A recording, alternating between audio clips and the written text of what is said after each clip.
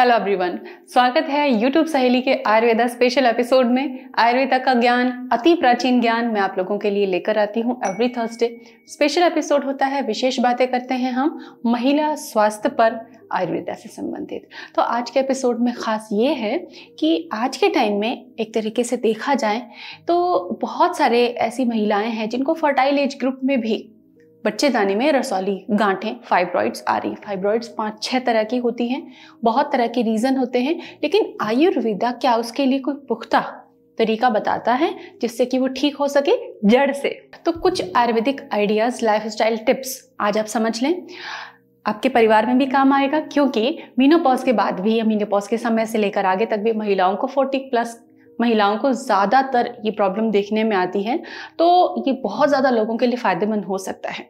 Full proof ideas हैं ज़िंदगी बदल जाएगी क्योंकि फाइब्रॉइड्स को जनरली ऑपरेशन करने की सलाह दी जाती है। उसके टाइप्स को देखकर। लेकिन जो आज मैं आइडियाज़ बताऊँगी, उनसे फाइब्रॉइड आगे कभी नहीं होंगे, जो कि ऑपरेशन के बाद वापस वापस हो सकते हैं। तो ये आइडिया बहुत अमेजिंग है। आइए, हम आगे बढ़ते हैं। आशा करती हूँ अपने चैनल को सब्सक्राइब किया है। मॉर्निंग में खाली पेट जब आप होते हैं स्पेशली मॉर्निंग में हम खाली पेट होते हैं तो इसी तरीके से शाम को भी तो आपको एक ड्रिंक लेनी है। अगर आपको मॉर्निंग में सुटेबल ना हो तो आप इसे इवनिंग में भी ले सकते हैं। मुद्दा ये है कि पेट खाली होना चाहिए ताकि अच्छे से इफ़ेक्ट आए।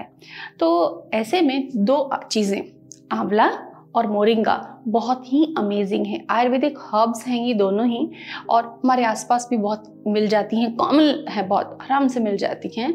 तो आप इनको लीजिए।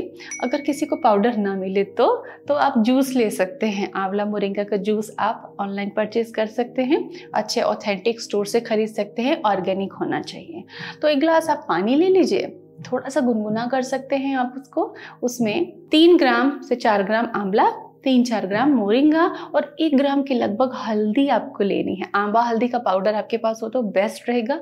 अदरवाइज़ जो हल्दी घर में अवेलेबल है, उसको आप ले लीजिए, क्योंकि इनके अंदर जो कंपाउंड होते हैं, वो फाइब्रॉइड की ग्रोथ को धीरे धीरे धीरे धीरे कम करते श्रिंक करते हैं। एकदम से आपका फाइब्रॉइड लुप्त नहीं हो जाएगा, लेकिन उसका साइज़ घटने लगेगा, उसकी ग्रोथ जो है, वो रुक जाएगी। तो उसको पानी में स्टेर करना है, मिला लेना है, हल्का सा काला नमक भी ऐड कर सकते हैं और इसको आपको पीना है।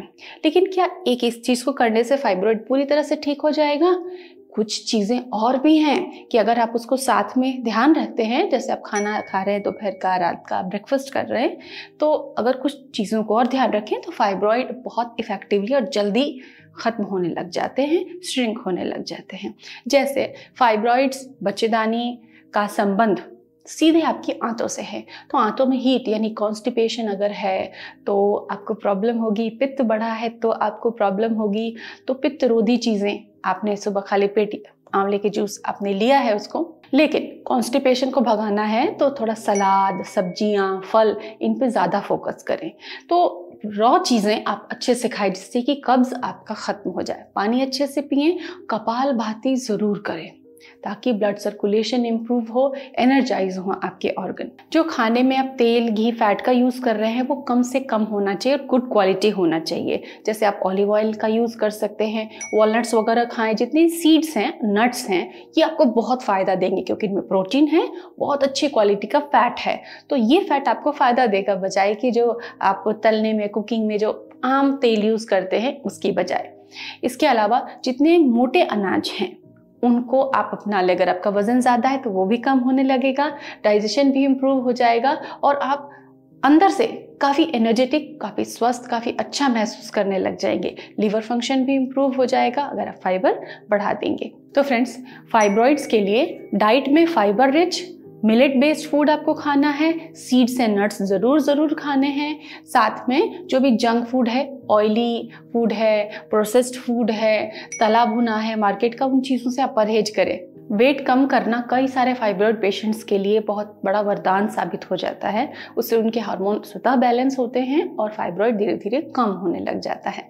आशा करती हूँ आप ही स्वास्थ्य लाभ लेंगे इस वीडियो को देखकर। Thanks for watching